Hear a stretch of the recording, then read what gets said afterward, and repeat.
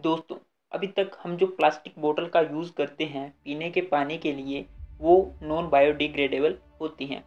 और इन प्लास्टिक की बोतल को हम वन टाइम ही यूज़ कर सकते हैं। मतलब अगर मैं एक पानी की बोतल खरीदता हूँ और उसमें पानी को पीने के बाद अगर मैं उस बोतल को फेंक देता हूँ इसका मतलब ये है कि मैंने उसे वन टाइम ही यूज़ किया। और अब ये बोतल जो है, वो कई हज़ारों साल लगा देगी डिग्रेड होने में। जिससे हमारा जो नेचर है वो काफ़ी ज़्यादा इफ़ेक्ट होगा।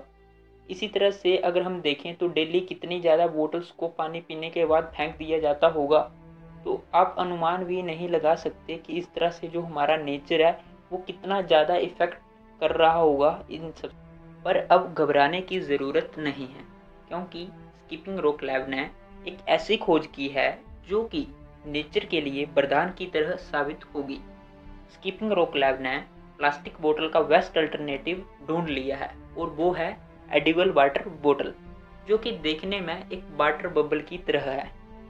एडिबल वाटर बोतल में एक कैप्सूल का यूज़ किया जाता है, जिसका नाम है ओहो, जो कि 100% बायोडिग्रेडेबल है मतलब इससे नेचर पर कोई इफ़ेक्ट नहीं पड़ता। ओहो के अंदर पानी या फिर और भी कोई ड्रिंक को स्टोर किया जा सकता है और डिफरेंट डिफरेंट फ्लेवर्स को भी स्टोर किया जा सकता है। ओहो एक एडिबल मेम्ब्रेन है जो कि सी वीड से बना हुआ है। इसकी सबसे खास बात यह है कि आपको सिंपली एडिबल वाटर बबल को मुँह में डालना है और ऑटोमेटिक ही वो मुँह में जाते ही पानी बन जाएगा। और आप ऐसा भी कर सकते हैं कि उसके ऊपर जो सी वीड का कैप्सूल बना हुआ है, उसको उसके अंदर होल करके भी पानी को पी सकते हैं। ये आप पे डिपेंड करता है।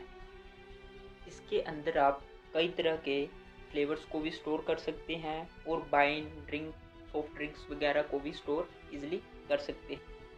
तो फ्रेंड्स, ये एक बहुत ही एक अच्छा सोल्यूशन निकाला हुआ है स्कीपिंग रोक लैब ने वाटर बॉटल्स को, जो कि प्लास्टिक वाटर बॉटल्स थी, उनको रिप्लेस करने का एक नेचुरल वे से, एक नेचुरल तरीके से, जो कि 100% परसेंट बायोडिग्रेडेबल है। तो फ्रेंड्स, अगर आपको वीडियो अच्छा लगा होगा तो प्लीज़ लाइक कर देना और आपको कोई भी इस वीडियो से रिलेटेड डाउट है या क्वेरी है तो आप कमेंट बॉक्स में कमेंट करके हमें बता सकते हैं।